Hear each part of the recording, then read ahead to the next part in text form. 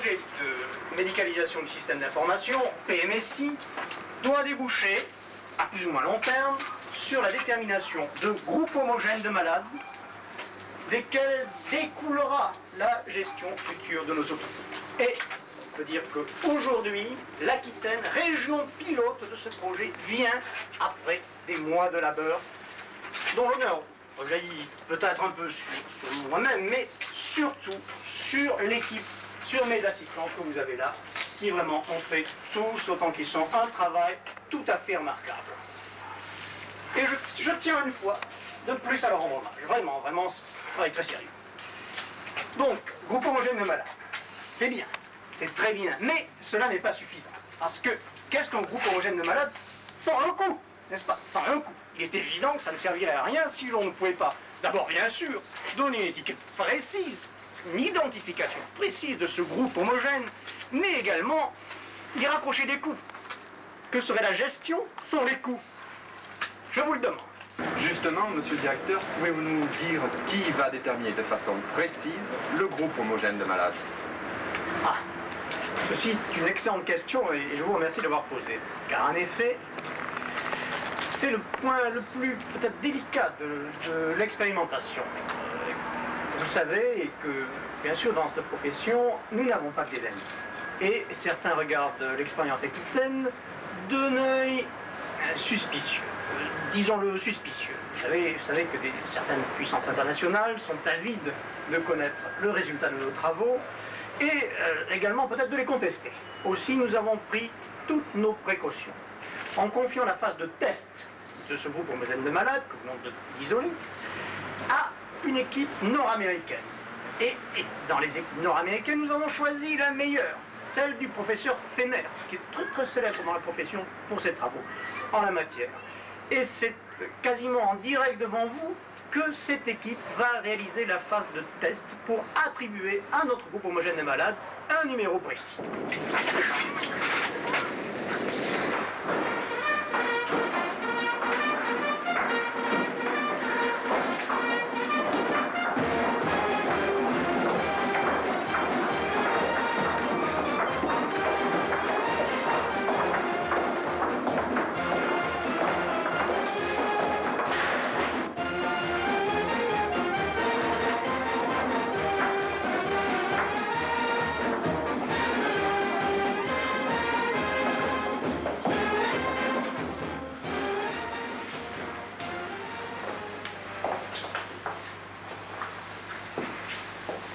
Monsieur directeur, pouvez-vous commenter ce qui va se passer Eh bien, ce n'est pas sans une certaine émotion, une émotion certaine même, que j'ai le plaisir de vous présenter le premier groupe homogène de malades de l'histoire des hôpitaux français.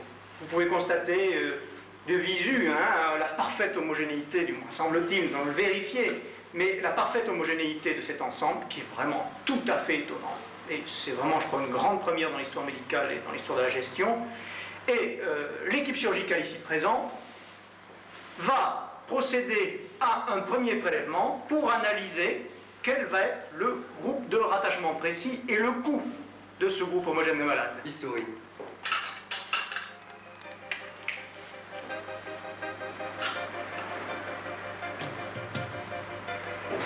Écarteur.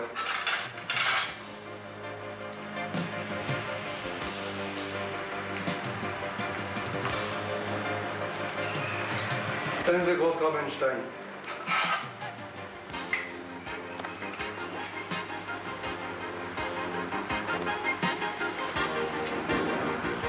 Sorry, vista.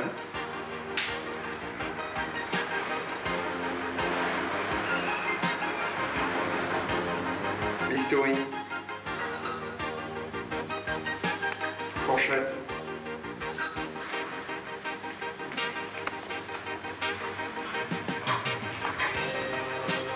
Assiette.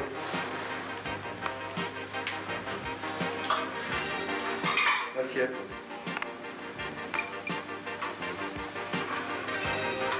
Assiette.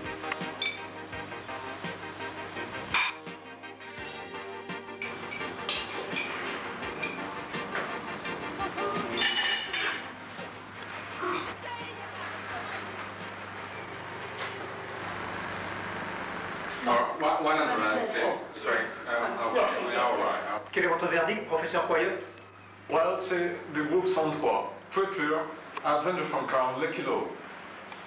Merci.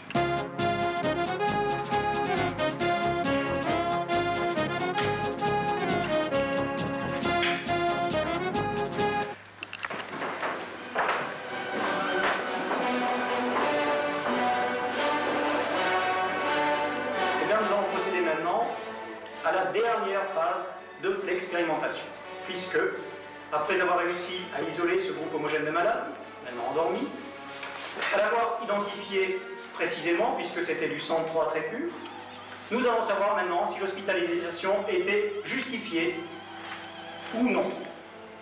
Et pour ce faire, nous allons réaliser en direct devant vous la première coupe transversale de la sécurité sociale sur un groupe homogène de malades. Et cette opération extrêmement délicate, vraiment de la microchirurgie qui demande une habileté prodigieuse, une méticulosité vraiment constante, a été confiée au professeur Bombier ici présent et va euh, se dérouler avec l'assistance de, de prestigieux des plus grands chirurgiens de l'Académie de chirurgie. Mes chers collègues,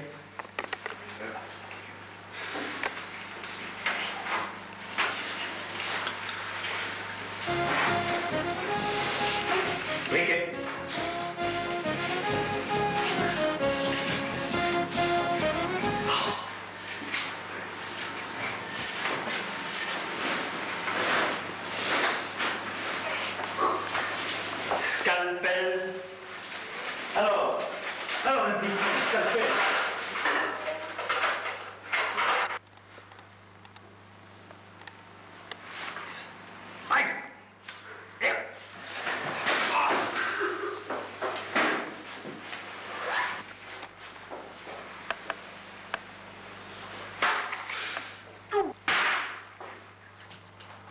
Un échantillon.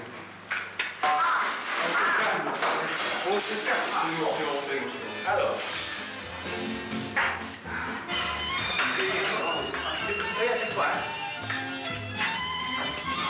Bravo, bravo, bravo.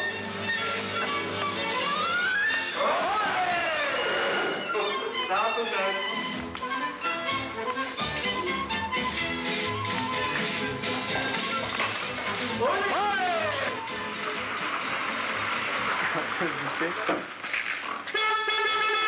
Ah, c'est pour moi.